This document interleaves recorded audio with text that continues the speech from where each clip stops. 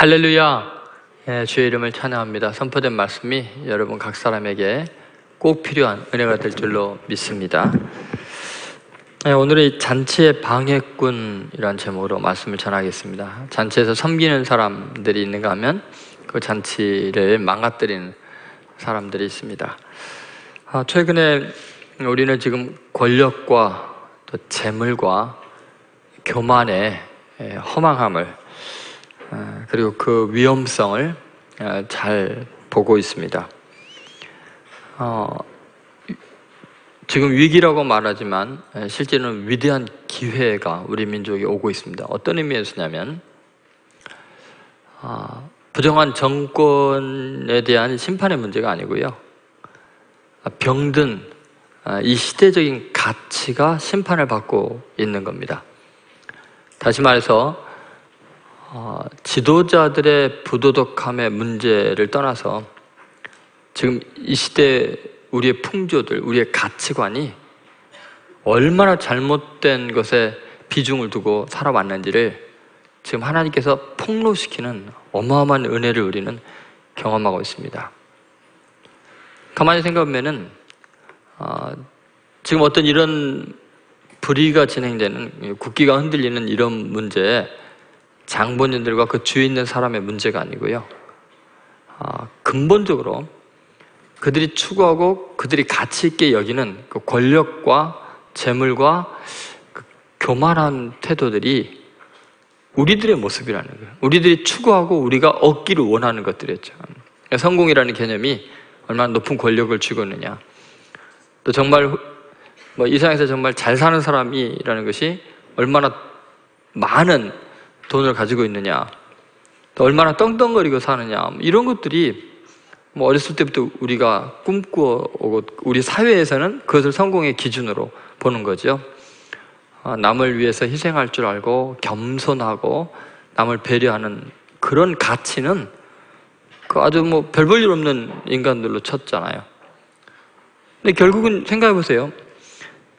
촛불 시위를 통해서 아, 정권을 바꾸거나 뭐 대통령 바꾸거나 주위에 있는 사람들을 심판한들 촛불 든 사람들의 근본적인 가치관도 그들과 뭐가 다르냐는 거예요. 우리들의 가치관은 뭐예요? 지금 뭐가 근본적인 문제냐면요. 바뀐다고 세상이 달라지는 거 아니에요. 바뀌면 또 똑같습니다. 왜냐하면 우리 사회 전반적인 가치가 병들어 있기 때문에요. 똑같은 일이 일어날 수밖에 없습니다. 그러면 촛불을 들고 피눈물을 흘려야 될 것은 우리 국민들입니다. 그런 사람을 뽑았고 그것을 추구하고 있고 자식들에게 그런 걸 가르치고 있고 함께 울고 함께 회개해야지 한쪽 측면만 회개해야 될 일이 아니에요.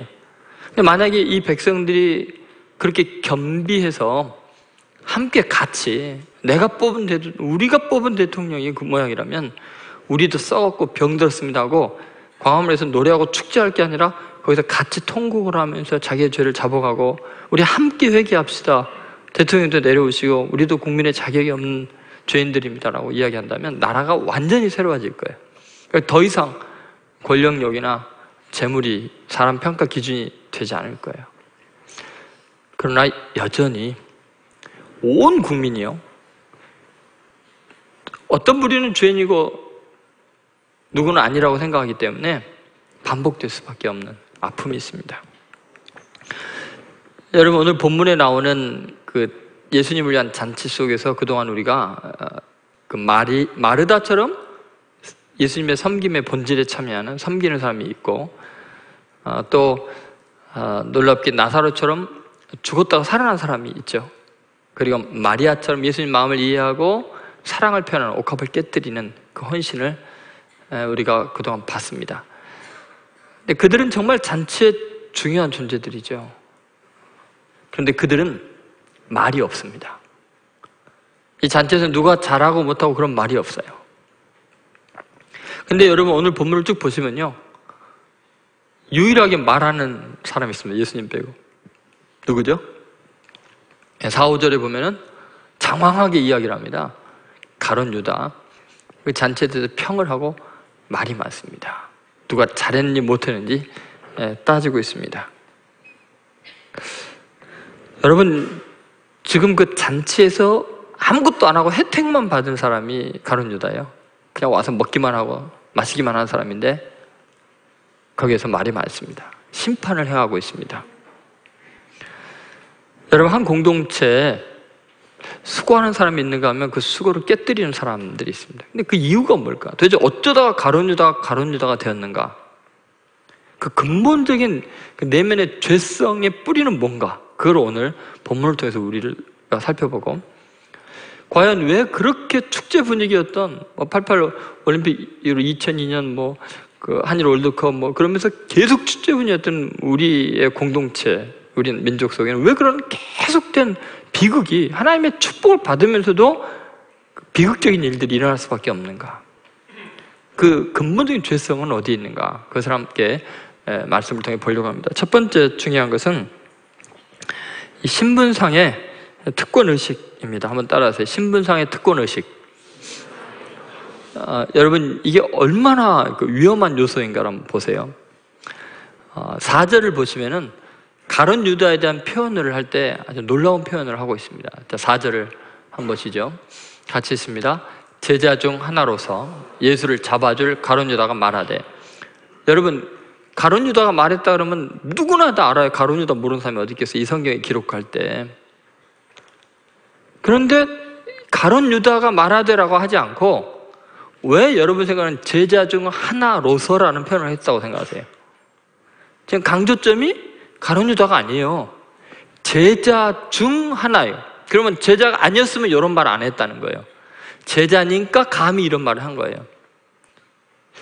여러분 우리가 어떤 특권 의식을 가지면 하나님으로부터 어떤 은혜를 받고 어떤 직분을 받고 재력이 있고 권력이 있고 유명세를 타게 될 때 순간적으로 우리가요 어마어마한 죄에 빠질 위험성이 있습니다. 그게 뭐냐면 내가 누군데라는 특권의식이 자리 이런 게 문제예요.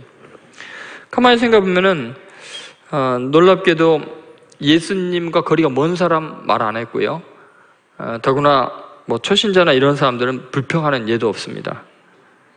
잔치에서 이렇게 유일하게 말하고 비판하는 이 사람, 어, 그 사람은 지나가는 거린이 아니었어요. 예를 들어서 이 잔치에 누군가 그 거린이 지나가다가 얻어먹으면서 마리아에게 아니 그 비싼 옥합을 깨뜨려고 거기다 왜 쏟아붓냐? 그걸로인데 그 월세나 좀 해결해 주지. 그런 말 안 해요. 그죠? 거리는 거기 가서 그걸 봐도 그게 자기 일이 아니죠. 그냥 자기는 이제 얻어먹는 거로 만족해요 근데 아 유일하게 그 행위에 대해서 신랄하게 비판을 하는 사람이 있는데 그 사람이 가론 유다예요. 왜 그러냐? 가론 유다가 제자가 아니었으면 그 짓 안 했을 거예요. 근데 제자 중 하나 이게 문제예요. 제자라는 특권 의식이 이런 말을 하는 거예요. 다시 말해서 우리가 스스로 자격이 있다고 생각할 때 그 말이 많아지는 거예요. 지금 보세요. 가장 위험한 요소가 제자 중 하나이죠. 목사 같은 사람, 장로 같은 사람. 지금도 보면 알겠지만 이야기하는 사람 나 혼자잖아요. 굉장히 위험한 자리에 있는 거예요. 이게 특권 의식이라는 게 내가 목사려니 하면 그때부터 제가 타락하기 시작하는 거예요. 이 권위 의식을 부리고 문제죠. 여러분 스스로 자격이 있다고 생각하는 순간부터 말이 많아집니다. 사람은. 아, 예를 들어 탈무드에 보면 이런 재밌는 이야기가 있습니다. 아, 율법 학교에 한 학생이 랍비를 찾아왔습니다. 그리고 선생님 이제 제가 드디어 율법 교사가 될 자격이 생겼습니다. 랍비가 될 수 있겠습니다. 그래서 아 갑자기 그게 무슨 말이냐 그랬더니 야 선생님 제가요 굉장히 제 몸을 단련하고 훈련을 해가지고요 제가 길바닥에서 찬 데서 아무데나 자도 괜찮고요. 아, 그리고 정말 제가 인격 단련해서 들에 있는 풀만 뜯어 먹어도 이제 괜찮고요. 저는 정말 아무런 욕심이 없습니다. 그저 어, 저는 날마다 채찍으로 제가 세 번씩이나 세 번을 제 몸을 내리치면서 제 몸을 쳐서 복종시키는 그 자기 훈련을 하고 있습니다. 이 정도면 율법 교사로서 부족함이 없을 것 같습니다. 이런 이야기 했어요. 그랬더니 그 랍비가 아, 그 학생에게 쫙 있는 저기 낙이 보이지? 네, 낙이 보이는데요. 저 나귀는 길에서 자고 아무 데나 바닥에서 자고 들에 풀을 뜯어먹고 그리고 하루에 세 번보다 더 많은 채찍을 맞고 있는 거 알지? 너가 그동안 훌륭한 것은 훈련한 것은 저 나귀가 되기 위한 거야. 나귀 수준밖에 안 돼. 여러분 무슨 말이냐면요. 우리가 의식주를 초월해서 나는 이렇게 훈련하고 경건하고 이제 제자를 자격이 있습니다라고 생각하는 그 순간 우리는 사리 분별 못하는 짐승이 된다는 거예요. 내가 자격이 있다고 생각하는 순간 낙이 되는 훈련한 거랑 마찬가지라는 거죠. 사람이요 어떤 권력을 쥐고 되거나 경제적인 힘이 생기거나 사회적인 명성이 생기면요 바보가 됩니다. 자기가 하는 행동, 그 무례함, 이 모든 것들이 세상 사람들이 다 손가락질을 하고 있는데 자기만 바보짓하고 있는 걸 모르는 거예요. 여기냐면 나귀니까 그래 나귀. 나귀된 훈련에서 그런 거예요. 그래서 어떤 자리나 이런 특권 자체가 굉장히 사람을 어리석게 만들기 때문에 위험한 거예요. 가론 유다가 열두 제자 중에 하나만 아니었어도 예수 안 팔아넘겼을 거예요. 이렇게 잘난 척하면서 다른 사람 판단하고 정죄하지 않았을 거예요. 그래서 여러분 되게 위험합니다. 아, 여러분 어떤 공동체나 단체에서 말이 많고 남을 비난하고 문제를 일으키는 사람은 늘 초보자가 아니고요. 내가 이 정도 신앙생활 했으면 내가 이 정도 직분에 올랐으면 나도 할 말 할 수 있다고 자격이 생겼다고 생각하는 순간부터 곤두박질 치는 거예요. 짐승의 수준으로 전락하는 거죠. 무례하기 짝이 없어집니다. 근데 이때 일어나는 현상이 늘 다른 사람의 헌신의 방향, 질, 양을 평가하고 판단합니다. 거기에 문제가 아, 있죠. 여러분, 우리는 다른 사람에 대해서 판단하면 안 돼요. 함부로 정죄하면 안 돼요. 왜냐하면 그 사람의 아주 독특한 은사가 있고 그 사람의 생각이 있고 나와 다른 자라온 환경이 있기 때문에 그 사람이 지금 하는 어떤 행동에는 우리가 헤아릴 수 없는 깊은 어떤 이유가 있을 수 있어요. 쉽게 판단하면 안 되는 거죠. 그런데 내가 예수님의 제자라는 이유로, 내가 목사라는 이유로, 또 내가 장로, 교회 무슨 뭐 안수집사 이런 이유를 가지고 다른 사람에 대해서 내가 판단할 자격이 있다고 생각하는 순간 바로 가론 유다가 되는 거예요. 예. 엉망이 되는 겁니다, 사람이. 도대체 이 잔치에서 이 헌신하고 있는 마리아를 이 가론 유다가 판단하고 평가하고 교훈하고 혼내야 될 아무런 논리적인 근거가 없어요. 그냥 제자, 예수님의 제자 중 하나라는 그 타이틀이 이 사람을 망가뜨린 거예요. 그럼 우리도 마찬가지예요. 저도 마찬가지고요. 그래서 여러분, 어, 우리는 어, 우리 자신이 지금 얼마나 위험한 위치로 나아가기를 원하고 있는가를 생각해 봐야 돼요. 우리가 어떤 성공을 꿈꾸는 거, 세속적인 성공의 그 개념이 과연 진짜 성공으로 인도하는 건지 위험한 길로 인도하는 건지 그보다 더 중요한 가치가 뭐가 있지 않나. 지금 왜 최아무기 씨가 그렇게 됐겠어요? 왜 박모 씨가 그렇게 되겠어요? 그 자리가 사람을 이상하게 만드는 거예요. 굉장히 위험한 거예요. 뭐 우리라고 다를 게 있겠습니까? 생각해보면은 그렇게 마리아가 그 헌신하는 거, 옥합을 깨뜨리는 거는 어, 사실은 마리아에게 굉장히 귀한 거였어요. 어, 이건 유다에게 귀한 것이 아니에요. 그럼에도 불구하고 좀 아낌없이 마리아가 깨뜨리는 것은 그만한 뭔가 사연이 있을 거예요. 그죠? 그 옥합이 왜 아까운 줄 몰랐겠어요. 유다만 계산할 줄 알겠어요. 그런데 아낌없이 쏟아 부을 정도라면 내가 알지 못하는 마리아가 받은 어마어마한 은혜가 있겠거니라고 생각하면 돼요. 내가 이해할 수 없는 비합리적인 헌신을 하고 있을 때 뭔가 신앙의 어떤 결단이 있고 헌신을 할 때는 내가 다 알 수가 없잖아요. 그냥 쉽게 평가할 일이 아니에요. 아, 저것이 아깝지 않을 만한 큰 은혜를 받았나 보다. 여러분, 이 청년부 예배 어떤 사람은 와서 그냥 드리고, 뭐, 가지만 어떤 사람은 뭐 토요일도 와서 찬양과 또 율동과 또 이 성가대 여러 곡을 연습하고 이런 거는요, 나름 주님께 받은 은혜가 있어서 그게 가능한 거예요. 여러분, 아, 지금 신기하게도 마치 자기 것도 아니면서 자기 것처럼 지금 심판을 하잖아요. 자기 걸로 헌신한 게 아닌데 왜 판단을 하냐고요? 이런 정신 상태가 문제입니다. 어떤 사람이 자기 인생과 시간을 투자해서 주님을 섬기는 걸 가지고 제 3자가 말한다는 것은 어, 지극히 교만한 거죠. 그 사람이 뭔가 지금 남보다 더 잘난 하나님이 주신 은혜 때문에 사람이 망가 질 수가 있다는 것이죠. 여러분 꼭 어, 우리가 어떤 어, 특별한 은사가 있거나 지위가 있거나 물질이 있을 때 겸손해야 돼요. 이렇게 망가지면 안 돼요. 그래서 제자 중 하나 이런 표현이 들어간 거예요. 왜 이런 이상한 짓을 하냐? 요것 때문에 그렇다. 자, 두 번째 우리가 생각할 것은요. 아, 계산 속에 배신의 씨앗이에요. 한번 따라해 보세요. 계산 속에 배신의 씨앗. 여러분 이것도 참 기가 막힌 표현인데요.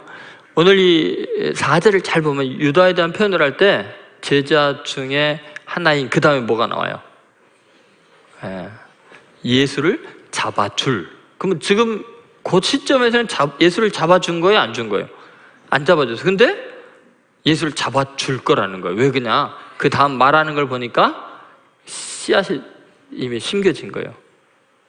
이미 싹이 나고 있는 거예요. 그 배신에. 근데 왜 그냐? 예수를 잡아줄 가론 유다가 말하되 무슨 말을 했는지 그 말을 보면은 들어보면은 예수를 잡아줄 수밖에 없다는 것을 알 수 있다는 거예요. 자, 그러면 왜 예수를 잡아줄 수밖에 없는가? 왜, 왜 예수를 잡아주리라는 표현을 했을까? 에, 한번 5절을 보세요. 5절을 보면은 자, 한번 같이 읽겠습니다.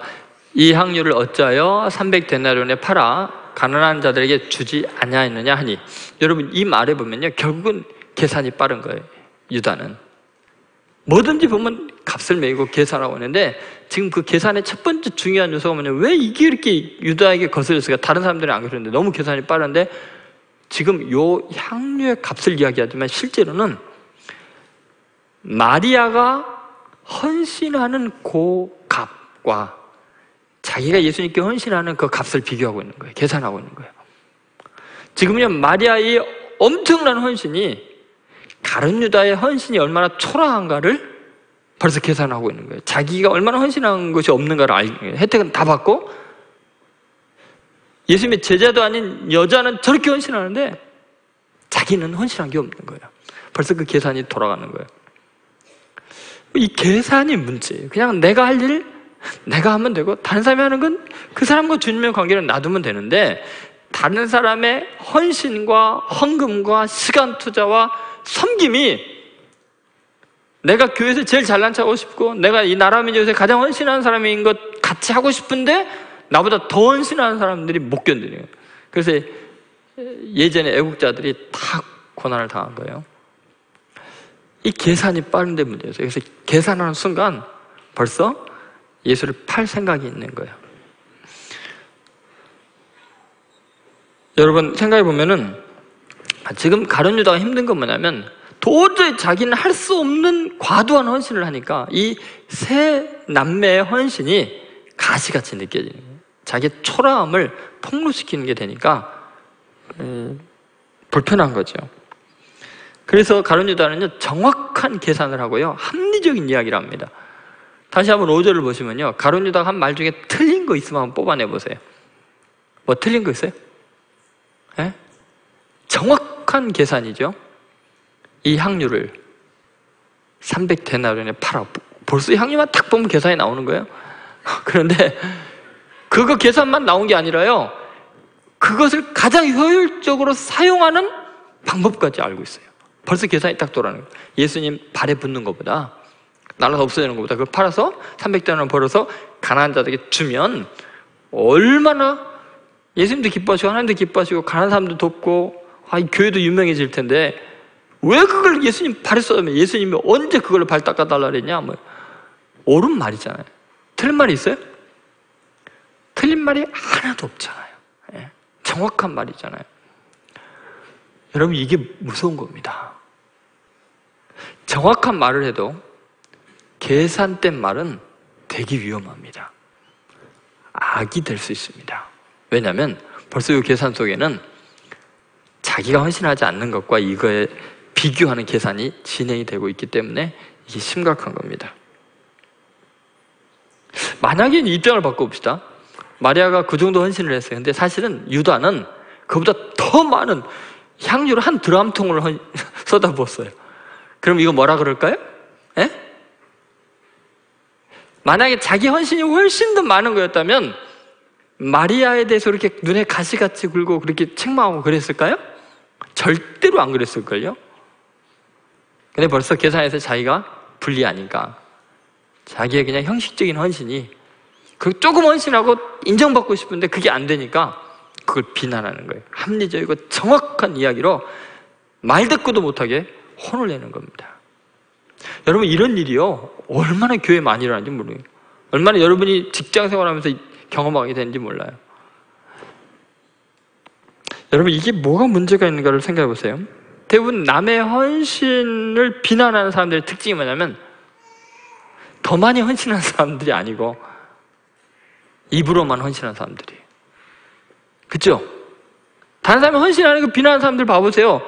진짜 헌신하는 사람들은요, 다른 사람이 같이 헌신하면 기뻐하지.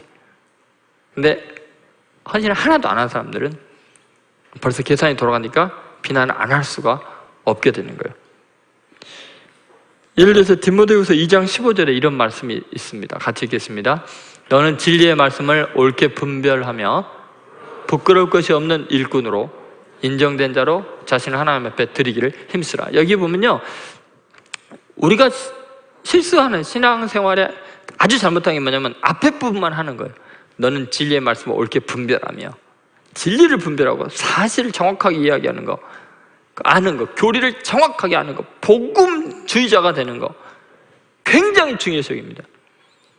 그리고 그걸 가지고 다른 사람이 제대로 헌신하지 않는 걸 비판하고 판단함으로써 자기는 헌신된 사람인 걸로 착각을 하는데 성경은 뭐라 하냐면 너는 진리 말씀을 이렇게 분별을 하며 그 다음 뭐라 했어요? 부끄러울 것이 없는 일꾼으로 그 진리의 말씀에 비추어서 부끄러울 것이 없는 일꾼으로 인정된 자로 자신을 하나님 앞에 뭐요? 드리기를 힘쓰라 그랬어요.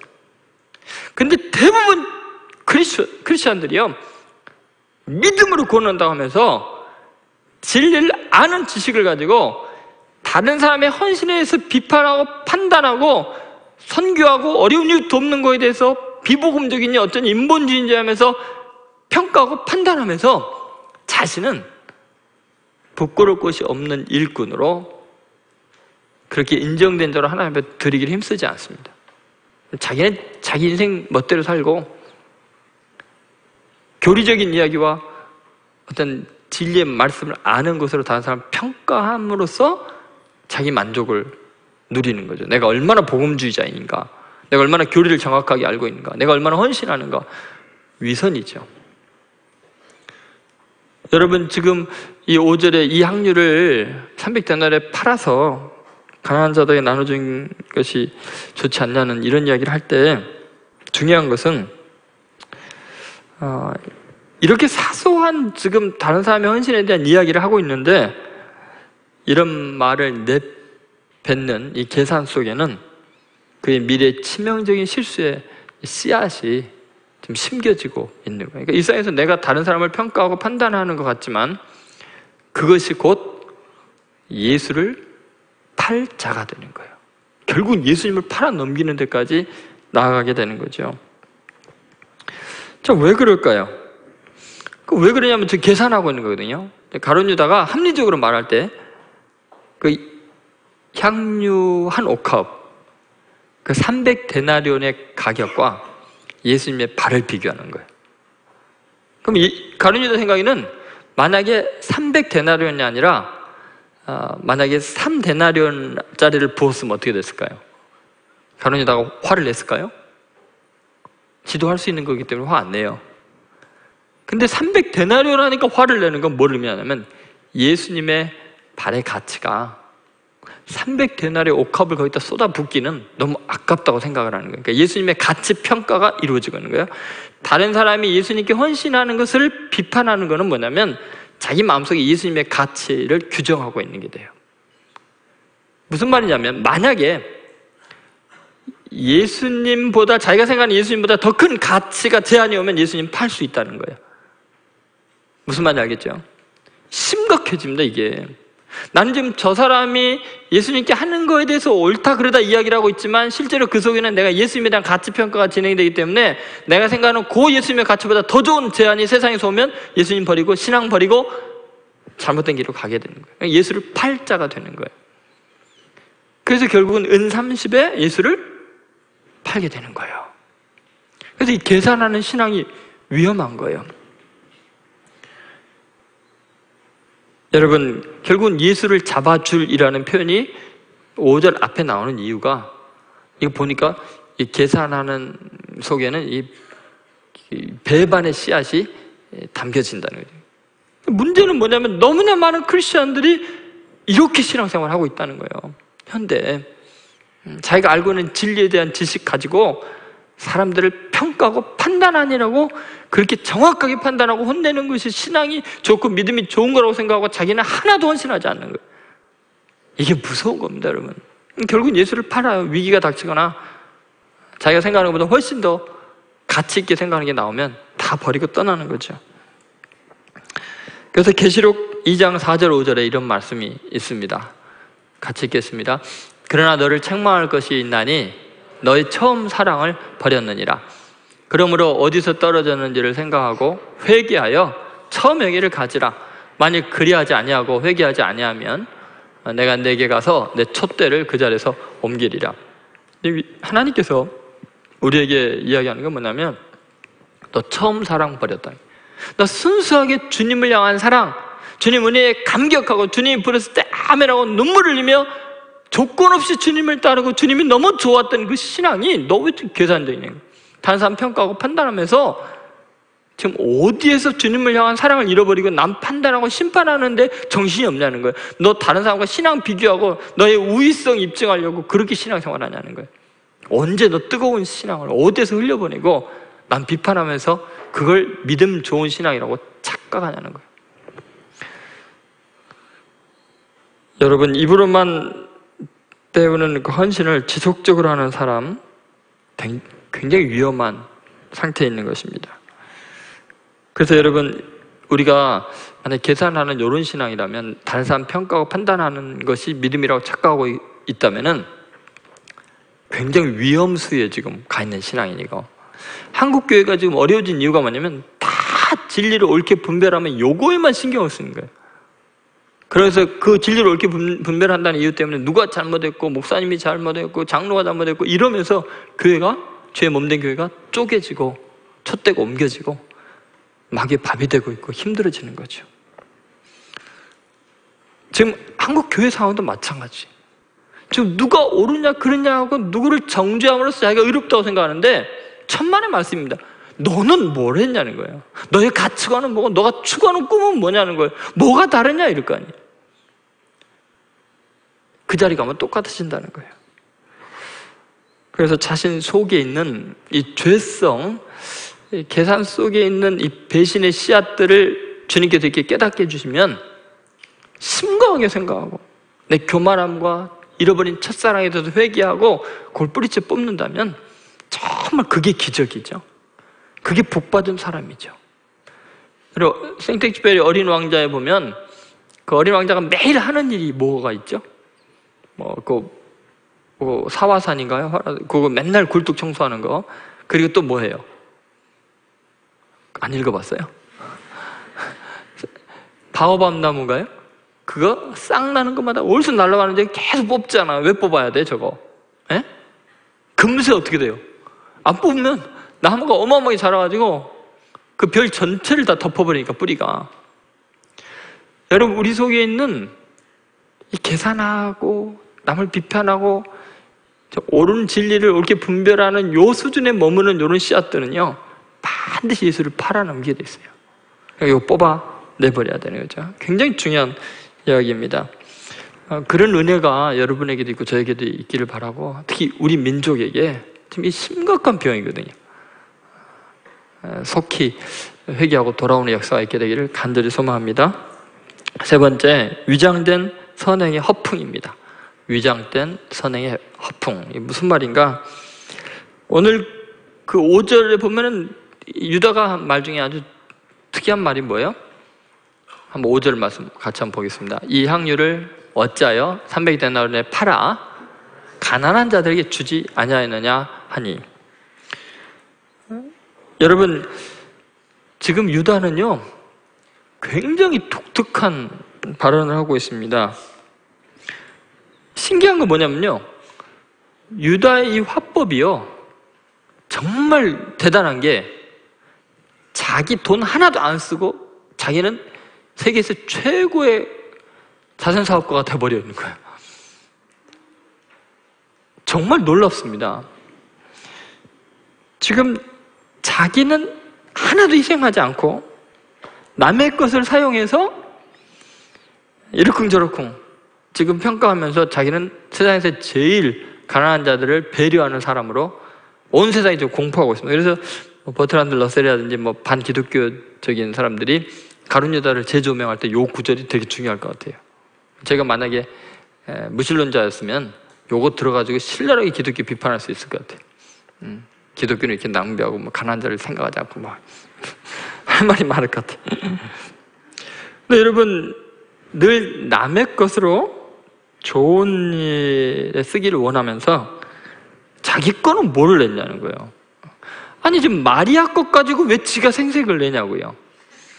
아니 마리아가 그걸 예수님의 발에 붙던 예수님 코에 붙던 아니면 가난한 자에게 주든 말든 지금 마리아는 자기가 평생을 모으고 자기가 아끼고 자기가 물려받은 가장 귀한 것으로 자기 것 꺾고 자기 쓰는데 이거 유다가 빌려준 겁니까? 유다 겁니까 이거? 그럼 유다하고 마리아하고 결혼한 사이인가요? 지가 왜 난리냐고요. 왜 남의 것을 가지고 자기가 생색을 내냐는 거예요. 여러분 가만히 생각해 보면은 우리는 그래요.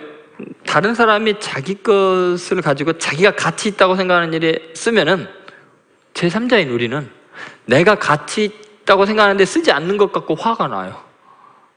왜 저 사람은 저런 데 낭비를 하는지 모르겠어. 어, 그, 그 사람이 자기 것 갖고 자기가 낭비하는데 왜? 그럼 네거 갖고 네가 똑바로 쓰지. 내 거 쓰기는 아깝거든요. 저놈 갖고 내가 원하는 거 썼으면 좋겠는데. 내 영광이 드러났으면 좋겠는데 그게 안 되니까 속이 상한 거죠. 여러분 마리아가 이렇게 예수님께 선물한 거는요. 마리아는요 이거 안 할 수가 없을 만한 어마어마한 뭔가 은혜가 있는 거예요 지금. 아, 일단은 자기 오라비가 죽은 자 가운데 살려놨, 살려놨잖아요. 그럼 말씀 들으니까 예수님이 곧 그 오라비를 위해서 내 죄를 위해서 십자가에 죽으실 것이 명백하게 예수님 말씀 중에 나오니까 이 은혜를 갚을 길이 없으니까 지금 그 발에 못이 박혀서 피 흘려서 우리의 지은 죄를 사할 걸 생각하면 그 발에 이 300대나로 쏟아 붓는 것이 아깝겠어요? 우리 대신 죽으시는 그분? 여러분 그것은 마리아와 예수님의 관계 속에서 그 사랑이라는 개념이 개입이 돼서 이런 일이 일어나는 거예요. 사랑의 행위지 거래가 아니에요 이거는. 그러니까 여러분 생각해보세요. 지금 사랑이라는 엄청난 인격적이고 정신적이고 전 생애가 다 동원이 되는 어마어마한 지금 흐름이 있는데 그 안에 딱 물질 계산하는 것만 딱 들어가요. 물질주의 이거. 사랑이 개입이 안 되면요. 설명이 안 되는 거예요. 불합리하게 느껴지는 거죠. 여러분, 여러분이 누군가를 사랑할 때그 일어나는 현상 중에 하나가 그런 겁니다. 비합리성, 낭비성. 이게 뭐 사랑할 때 일어나는 전형적인 현상이에요. 제정신이 아닌 것 같아. 빚내 갖고 막 사주고 막 별짓을 다 하고 나중에 헤어지고 나면 네가 이럴 수가 있니 막 난리가 나는 거죠. 그 생각해 보세요. 여러분 중에 누군가가 저를 뭐 존경한다 뭐 이래 갖고 존경할 인물이 안 되니까 이런 이야기를 하는 거예요. 목사님 식사를 한번 대접해 드리겠습니다. 뭐 제가 뭐 먹는 것도 시원치 않지만 저를 위해서 굉장히 고급 음식점으로 저를 데리고 와서 음식을 사줬어요. 제가 먹으면서 이런 생각이 들 거예요.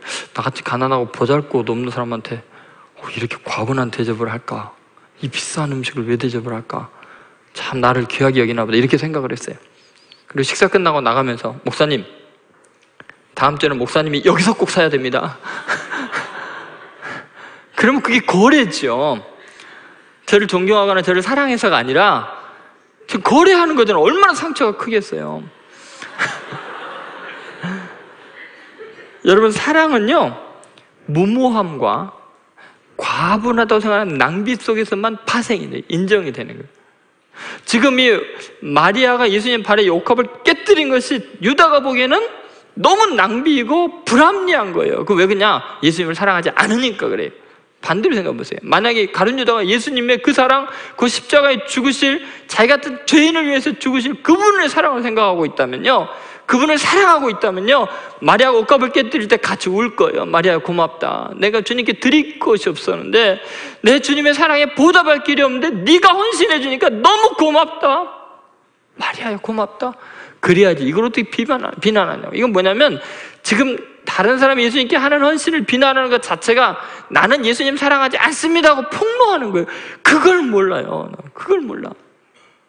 너무나 많은 사람들이 자기 입으로 예수님 사랑하지 않고 남의 것 가지고 내가 생생된다는 걸 폭로하고 있어요. 그럼 이런 성경을 보면 그냥 보여요, 그게. 그런 사람들의 모습이 기독교인들의 행태가 느껴지잖아요. 너무 안타깝죠. 사랑이 없는 종교적인 형식과 위선적인 예배 태도 속에는 헌신이 없어요. 헌신하는 사람들이 웃기게 보이죠. 여러분 보기에 청년 민문을 하고 이런 활동하고 뭐 대만 선교 가고 이런 것들이 쟤네들 시간도 많아. 할 일이 없나 봐. 돈도 많아. 그 왜 그래? 주님을 향한 사랑이 없으면요. 이해가 안 가요. 그 돈 있으면 어디 연수 나가고 막 이럴 거 아니에요. 여러분, 아, 만약에 다른 식으로 생각해 보세요. 이 가룟 유다의 말이 굉장히 합리적인 것 같지만 얼마나 사랑이라는 개념이 개입되면 불합리해지는지 이제 며칠 있으면 제 아내 생일이거든요. 제가 큰 부담에 지금 통장에 잔고는 떨어졌는데 아내가 몇 달 전부터 지금 벼르고 있어요. 뭐 그 이제 뭐 해주나 보자. 자꾸 그런 압력을 넣어요. 그러면 제가 이제 어떻게 빚을 내 가지고 이제 아내한테 이제 한 30만 원 정도로 제가 뭐를 이제 생일 옷 한 번 제대로 못 사줬는데 한번 사줘야지 하고 생각했는데 생각해 보니까 아내, 아내한테 그렇게 목사가 하는 것보다 가난한 학생한테 그 뭐냐 이 학비 보조해 주는 게 낫지 않겠나. 그래갖고 제가 아내한테 가서 생일날 여보 우리 라면 먹고 이거는 우리 아무개 지금 학생 이번에 그 시험 봐고 합격했는데 그 등록금이 없는데 그 도와주는 게 목사 돌이 아니겠어? 그러면 저는 그 다음부터 지옥이 되는 거죠. 여러분 내가 아내에게 해야 될 일이 있고 가난한 사람한테 해야 될 일이 있는 거예요. 내가 사랑하는 사람에게 해야 될 게 있고 가난한 사람에게 도와줘야 될 일이 따로 있는 거예요. 내가 주님께 드려야 될 게 있고 가난한 사람에게 해야 될 건 따로 있는 거예요. 그럼 저 어떻게 하라고? 저한테 찬조 출연 좀 하세요. 이게 어려운 거예요. 그래서 신앙생활이. 지금 유다는 마리아의 이 행위에 대해서 이해할 수가 없어요. 이게 얼마나 아, 힘든 일인가 한번 생각해 보세요. 정말 가난한 사람들을 위하면 가난한 사람들을 위해서 자기 것을 등을 내놓아야지. 유다는 나보다 더 악한 게 남이 헌신한 것 갖고 지가 생색을 내니까 그거 갖다 가난한 사람이 나눠주면 좋겠다 그러니까 정말 나쁘죠. 다시 말해 예수님께 드린 것 가지고 지가 가난한 자들에게 분배해 주는 것 같은 그런 형식을 취하고 있어요. 근데 문제는 뭐냐면 이게요. 너무나 많은 기독교인들이 요 짓을 하고 있어요. 무슨 말이냐면요. 예를 들어서 한번 가만히 생각해 보세요. 11조 낼 것 가지고 성경헌금 냅니다. 추수 감사절 헌금 하나님께 감사하는 것보다 아이 고돈 가지고 어려운 이웃 도와주면 되지 하고 이 구제 하는데 지가 씁니다. 진짜 어려운 사람 도와주고. 실제로는 그거는 하나님께 추수감사를 하려고 불, 분리해놨던 거예요. 이번에 추수감사절 헌금이요 70%밖에 안 나왔대. 30%는 누가 지금 딴 데로 빼돌린 거죠. 여러분 가만히 생각해 보세요. 제가 이제 가끔 가다가 외부 다른 교회 성도들이 우리 교회 와서 예배를 이제 드리다가 이제 뭐 저를 만나자고 상담을 해요. 어. 상담할 때 이런 상담을 몇 번 받았어요. 목사님, 저는 대형 교회를 다니는 아, 신도인데 제가 알고 있는 가난한 교회 목사님이 있고 정말 생활도 어려운 교회가 있습니다. 그래서 11조를 본교회 안 하고 그 교회로 하면 어떻습니까? 여러분 생각 어떨 것 같아요? 큰 교회도 하나님 교회고 장교도 하나님 교회인데 11조는 하나님께 하는 거니까 제가 이쪽으로 해도 되겠죠? 그래요. 그럼 제가 이렇게 말합니다. 에이, 도둑입니다. 그럼 도둑질 하는 겁니다. 여러분, 11조는 내 것이 아니에요. 그죠? 10분의 10이 다 하나님이 내게 주신 건데 그 중에 10분의 1은 구별해서 하나님 거라 그랬어요. 그거는 그러니까 자기가 다니는 본교회 11조 언제 드리면 그 교회에서 하나님의 사업을 알아 쓰는 거예요. 그러나 내 것이 아니라니까 내가 어디에 써야 된다고 생각해서 쓰는 것은 내 돈이잖아요. 왜 그게 위험한지 제가 설명을 해줬어요. 왜냐하면 내가 그걸 내 교회에 드릴 때는 그냥 당연히 하나님 것이기 때문에 드리는 거지만 내가 가난한 교회를 위해서 드릴 때는 그 교회를 향한 배려가 있고 그 교회를 향한 내 헌신이 있고 그 교회 목사님은 내게 고마움을 느끼게 되거든요. 그러면 하나님의 것 같고 내가 내 스스로의 의를 쌓고 있고 다른 사람에게 칭찬을 받고 있고 결국 하나님 것 도둑질해 갖고 자기 명성을 높이는 거예요. 가론 유다가 하는 것과 똑같은 짓을 하는 거예요. 여러분 가론 유다가 얼마나 똑똑하냐면요. 자기 돈 한 푼도 안 가진 상태에서요. 이걸 사람들 앞에 대놓고 지금 혼낸 거 아니에요. 마리아를. 그럼 보세요. 그 자리에 지금 온 유대인들이 다 와 있다고 나와 있잖아요. 가득 사람들이 모인 자리에서 갑자기 버럭 화를 내면서 이거를 비싸는 게 300데나리인데 왜 팔아갖고 사람에 나누지 않았냐고 그러면요. 남들이 볼 때는 뭐, 와, 예수님 제자 중에 사람 같은 인간 하나 있네. 정말 가난한 자를 생각하고 억압받는 자를 불쌍한 사람들을 배려하는 저런 사람이 있으니까 기독교회가 희망이 있어. 이럴 거 아니에요, 다. 아, 유다 정말 가난한 사람을 배려하구나. 최고 휴머니즘. 정말 훌륭한 사람입니다. 이렇게 되는 거 아니에요. 그러면, 아니, 마리아는 뭐가 되냐고요? 헌신하고 주님께 사랑 고백하고 괜히 별, 날벼락 맞는 거 아니에요? 그리고 다른 사람의 헌신을 정말 가슴 아프게 만들고 지 영광 드러내는 사악한 짓을 한 거 아니에요? 남의 것 가지고요. 지 생색 다 냈네요. 기가 막히잖아요. 요거 인간이 잘 알아요. 그래서 교회에서 목사가 되고 장로가 되면 꼭 이 짓을 해요. 심지어 이제 안수집사도 요새 그러더라고요. 남의 헌신한 거 가지고 자기 생색내고 자기가 얼마나 의로 얼마나 전략하고 얼마나 이웃을 도왔는지를 드러내려고 한다는 거예요. 여러분 왜 그럴까요? 그 내용이 6절에 나와 있어요. 6절을 한번 보세요. 6절 같이 읽겠습니다. 이렇게 말하면 가난한 자들을 생각함이 아니요. 그는 도둑이라 돈꾀를 맞고 거기 넣는 것을 훔쳐가면 결국은 그 돈 자기 거 만들고 싶은 거죠. 근데 그걸 놓치니까 약이 오른 거죠. 근데 여러분 이거보다 더 심각한 게 뭐예요? 이 도둑이 돈만 훔쳐가는 게 아니라 그 사람의 헌신과 명예를 다 자기에게로 돌려버리잖아요. 헌신은 마리아가 했는데 지가 진짜 어려운 사람을 위해서 배려하는 것처럼 그 모든 명성을 자기가 도둑질해 가잖아요. 그래서 나쁜 거예요. 한 여인의 뜨거운 사랑의 눈물과 헌신을 무참히 짓밟고 그걸로 자기의 영광을 드러내는 거죠. 여러분, 어, 우리가 그 위험한 지경에 빠질 수 있는 이런 요소들을 잘 생각해 봐야 돼요. 얼마나 위험한지 모릅니다. 그래서 위장된 선행, 위장된 거짓 사랑, 이런 것들이 얼마나 허망한지 모릅니다. 이게 신앙이라고 지금 이러고 있으니까 문제이죠. 그래서 결론을 맺겠습니다. 결론은 이겁니다. 기회를 놓치는 미련한 사람 되지 말라니 기회를 꼭 붙잡아야 됩니다. 오늘 8절에 보면 이런 말씀이 있습니다. 같이 있습니다. 가난한 자들은 항상 너희와 함께 있거니와 나는 항상 있지 아니하리라 하시니라. 여러분 예수님은 세상 끝날까지 너희와 항상 함께 있으라 그러셨잖아요. 근데 항상 있지 않다는 게 무슨 말이에요? 이거는 지금 상대적인 이야기죠. 가난한 사람들을 위해서 우리가 하거나 어려운 예수를 위해서 할 수 있는 건 항상 가능하지만 주님을 위해서 내가 헌신할 수 있는 것은 아주 희귀한 예라는 거예요. 우리 인생에 기회가 많지가 않다는 거예요. 여러분, 하나님, 예수님 늘 우리에게 희생하시고 사랑해 주시고 베풀어 주시는 분이지요. 우리에게 요구하는 순간 우리 일생에 한두 번밖에 없을 수 있어요. 여러분, 아브라함 평생을 하나님께 거저 받았습니다. 그 아무 이유 없이 도와주시고 보호해 주시고 어마어마한 거부가 되게 하시고 조건이 없이 도 그런데요. 아브라함의 생애 속에 어느 한순간에 하나님이 요구한 순간이 있어요. 내 사랑하는 내 아들 독자 이삭을 내게 번제로 바치라.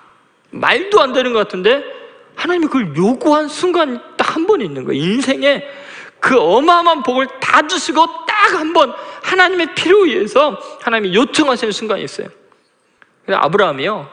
계속 주고 주고 주시기만 하는 하나님 은혜 너무 감격했는데 하나님이 준 이삭 때문에 16년이 넘도록 하나님을 한 번도 찾지를 않은 거예요. 그걸 깨달으니까 너무 죄송해갖고 하나님이 주신 거니까 주신 자도 여호와 예? 취하신 자도 여호와다. 그런 마음으로 이삭을 번제로 바치려고 그냥 바로 모리아산으로 데려가잖아요.